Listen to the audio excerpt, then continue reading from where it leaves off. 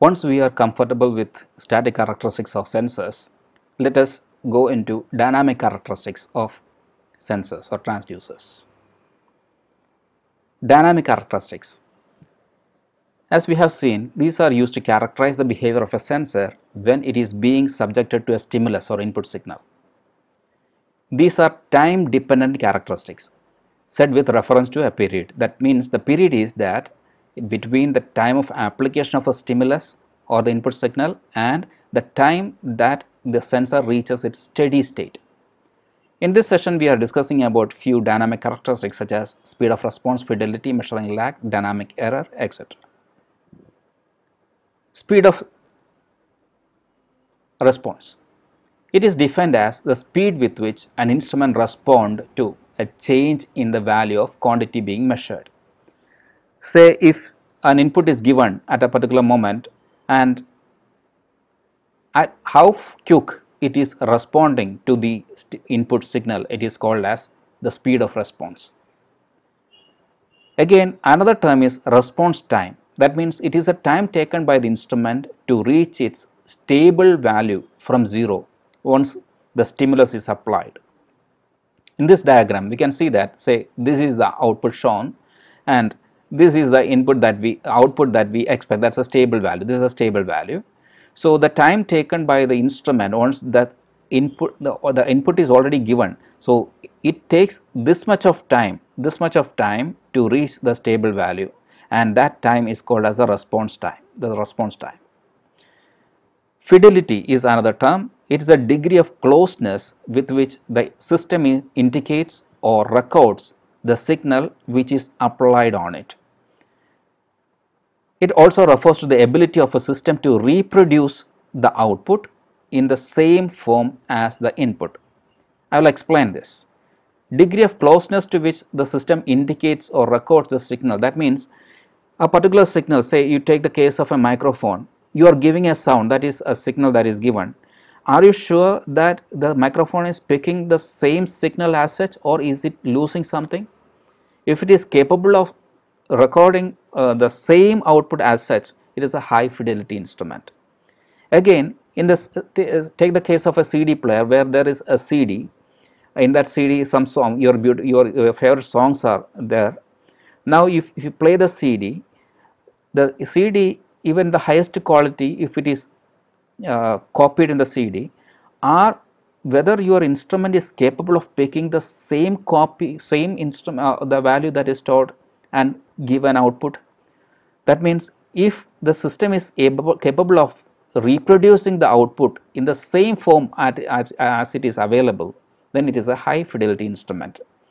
We have heard this hi-fi term connected with uh, our music systems.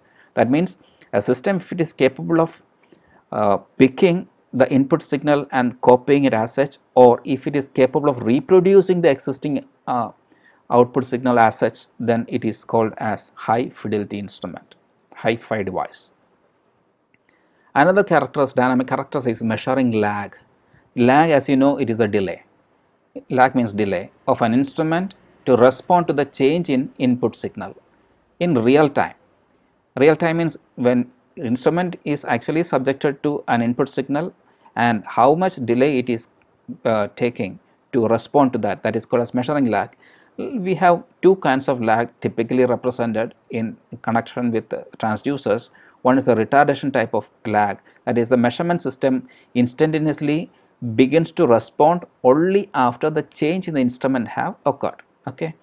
Now there is another kind of uh, lag called as time delay type of lag where the measuring uh, system begins to respond after a dead time to the applied input. Dead time means it is a time required by the instrument to begin its response to a change in the quantity of to be measured. Another term is dynamic error. It is the difference between true value of instrument, uh, the, measure, uh, the, uh, the, uh, the parameter and the output given by the instrument with time during the measurement process itself. Uh, I will give an example.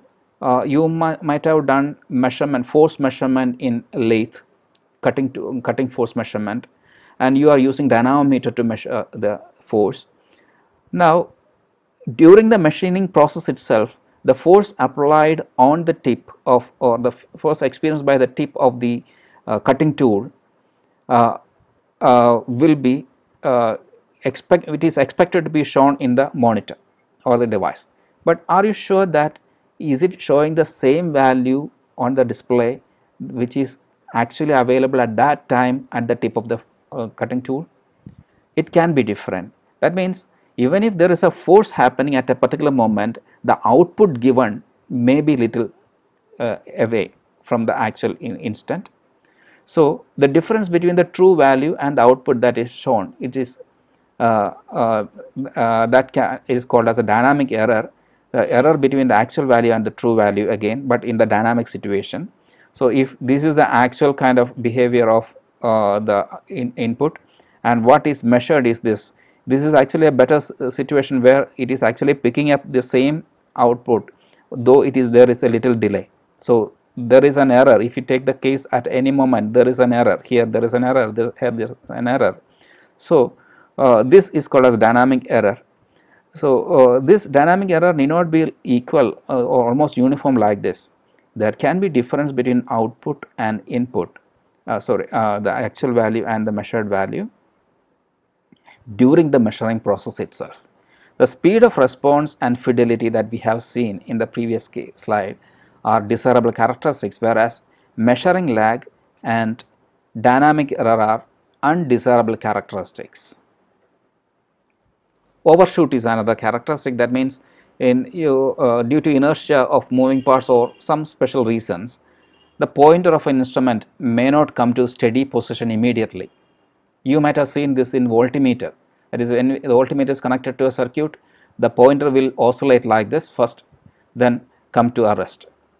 That means the oscillation, the oscillation is like this and finally it will be coming to rest and this is the mean point that is uh, required.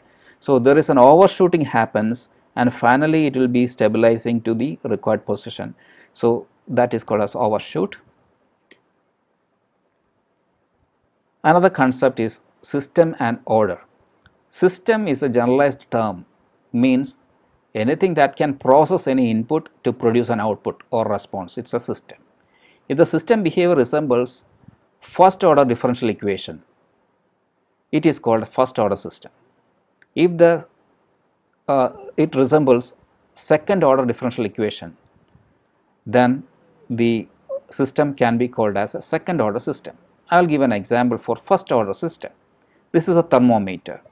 Thermometer we know that there is mercury, there is a tube. When you keep the thermometer uh, uh, subjected to temperature or if you are pressing on the bulb, the uh, this will expand, the, uh, the mercury will expand and it will rise through this tube. So, this is a differential equation that governs what the temperature of mercury is at a time. That is here there is only one parameter the length of the column of the mercury is proportional to the temperature. Here the differential equation that defines the rise of mercury with reference to change in time can be defined with order of a single order differential equation. So, this is a first order system. Whereas, take the case of a spring balance say uh, you have a spring balance like uh, as usually we see. And if you uh, add something to the spring balance uh, uh, mass at the end the spring balance actually it is a, a, second order differential equation. Because the spring balance have got a mass it has got spring property it has got damping property also. If you see the force balance of all this like a spring force if you consider the damping force and if it is consider the acceleration force or downward force if you balance all these things you can see that the this is the acceleration force that is uh, acceleration mass. It's a second order uh, part. This is a first order part like damping and change in velocity and there is stiffness and the displacement. So the whole equation defines the spring mass system and it the highest order here it is a second degree so we call it as a second order system so this is a differential equation that governs what working of a spring balance so so, this is an example for a second order system. Now again we are coming to a review part of this session. In the previous session we have seen about static characteristics. Now are you able to verify are you able to list any four dynamic characteristics of a measuring instrument. Are you able to explain the concept fidelity and measuring lag of an instrument with a suitable example? Uh, with this uh, if you can do it it's good. Otherwise please go back and verify and learn it. Uh, we have uploaded the learning material in our academic management system and the questions are also posted there. We can have discussion in the online platform. Thank you